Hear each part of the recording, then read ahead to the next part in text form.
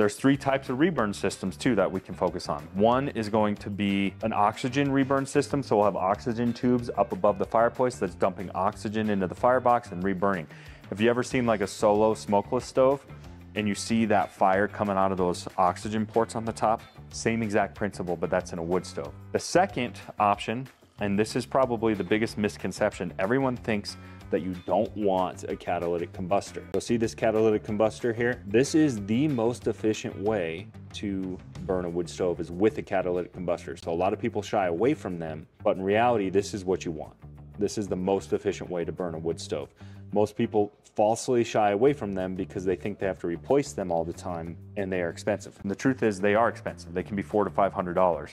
But the reason why they go bad is people simply don't maintain their stove.